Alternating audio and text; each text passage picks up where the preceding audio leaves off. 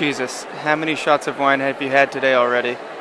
I don't want to talk about it. Jesus, how many shots of wine have you had today already? Two. Okay, good. This is why we're here. We just want to talk to you. Me, Pepe, Luigi, and little boy Charles. We love you. So please, just put down the drink for the love of your dad. Uh, aren't orgies just the greatest thing in the world? Right, Sam? Sorry, Steve, I can't really listen to you. Jack brought his frickin' horse to the orgy again. Dude, Jack, get out. Me and my sculpture, me and my sculpture. I have a little friend. It's my little sculpture. Um, Frederick, you might want to tend to the wounds on your feet. No, I'm good. I'll let the air heal them. No, I'll wash them for you. Don't worry. Guys, hands off.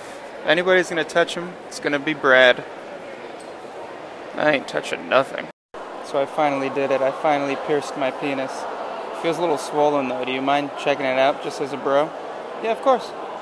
Uh oh. Getting looks. And that's what you get for eating half of my crepe when you said you'd only have one bite.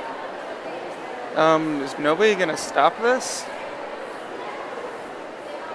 Sorry, Jerome, you know we can't help. We're at Jamboree. Honey, what? Would you get in here? I told you, we're only gonna try this once.